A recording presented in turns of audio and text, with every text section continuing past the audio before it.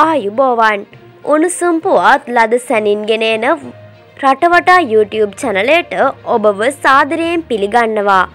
මෙන්න දැන් ලැබුණු තවත් උණුසුම් පුවතාක්. පොලිවුඩ් සුපිරිනලු ශාරුක්කාන් බුදුදහම වැළඳ ගන්නට යන්නේ යැයි කියන ආරංචියක් මේ දිනවල ඉන්දියාවේ විශාල ලෙස කතා බහට ලක්ව තිබෙනවා. එයට හේතු වී ඇත්තේ තමන් විසින් බෞද්ධ පොත්පත් කියවීමට නැඹුරු වී ඇති බව ප්‍රකාශ කළ පසුවයි.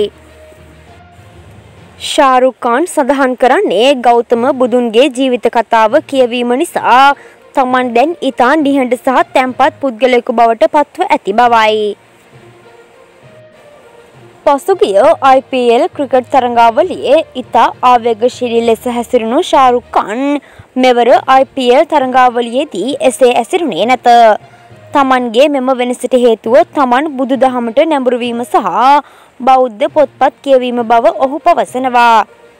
මට බුදු දහම ගැන ලියවුණු පොත් රැසක් කියවන්න ලැබුණා.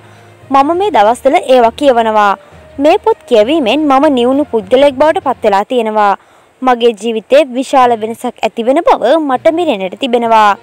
ශාරුක් ખાන් තම ජීවිතය තුළ ඇති වූ නව වෙනස ගැන අදහස් දක්වමින් මේ ලෙස පවසා තිබෙනවා. මෙවැනි උණුසුම් පුවත් ලද සැනින් දැන ගැනීමට ඔබ දැනටමත් අපගේ රටවටා YouTube චැනලය සබස්ක්‍රයිබ් කළ නැත්නම් දැන්ම සබස්ක්‍රයිබ් කර සීනුව බොත්තම ක්‍රියාත්මක කරන්න.